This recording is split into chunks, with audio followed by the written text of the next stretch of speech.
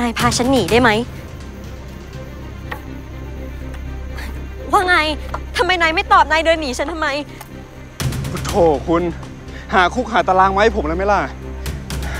คุณเป็นลูกเจ้าคุณนะ ส่วนผมเป็นแค่กุลีหาเช้ากินค่ำผมไม่มีปัญญาหาเลี้ยงคุณได้หรอก คืนหนีไปกับผมคุณก็ได้อดตายพอดี ไม่เป็นไร ฉันยอม ฉันถูกบังคับให้แต่งงาน กับใคร คุณเกื้อกูล ลูกชายคนเดียวของท่านเจ้าคุณพระลากร กับคุณหญิงโสภา ก็ดูเข้ากันดีนะ ลูกภรรยา ลูกคุณหญิง ฉันไม่เคยเจอกับเขาเลย หน้าตาเป็นยังไงฉันก็ไม่เคยรู้จัก แล้วนายจะให้ฉันไปรัก ไปชอบไปแต่งงานกับเขาได้ยังไง แต่เขาเป็นนักเรียนนอกเลยนะ นายรู้ได้ยังไง ก็ลูกภรรยาลูกคุณหญิง เขาก็ไปเรียนเมืองนอกกันทั้งนั้น ก็คงใช่ ท่านเจ้าคุณพระลากรก็สง่างาม คุณหญิงโสภาท่านก็งดงาม ลูกชายของท่านก็คงไม่ต่างจากพ่อจากแม่ แต่ฉันไม่ได้รักเขา ฉันรักนาย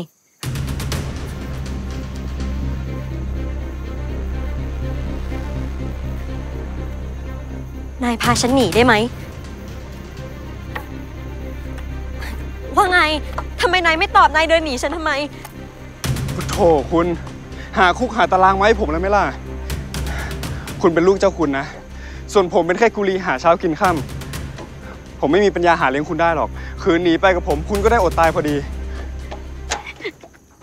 ไม่เป็นไร ฉันยอม ฉันพูดจริง ๆ นะ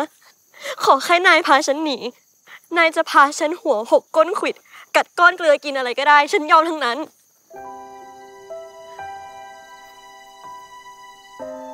คุณเป็นผู้หญิง อย่าพูดแบบนี้กับใครนะ เพราะว่าถ้าเจอคนฉวยโอกาส คุณจะมีมนทิน ความจนไม่ใช่เรื่องสนุก ไม่ใช่ความแปลกใหม่ในชีวิตของคุณหนู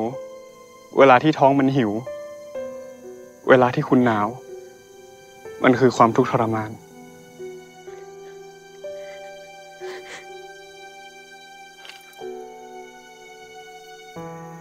ลืมสิ่งที่พูดกับผมไปซะ นายรังเกียจฉันเหรอ งั้นนายก็คงมีคนรักอยู่แล้ว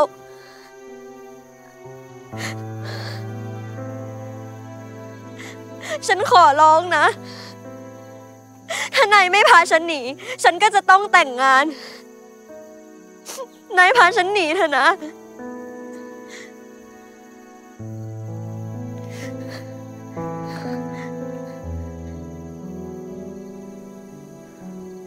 ผมบอกคุณแล้วไง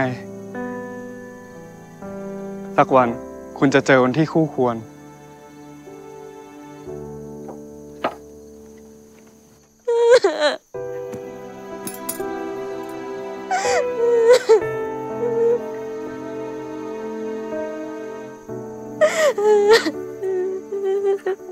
แอป CS 3 Plus ดูสดและย้อนหลังฟรีได้ที่แรก ดาวน์โหลดเลย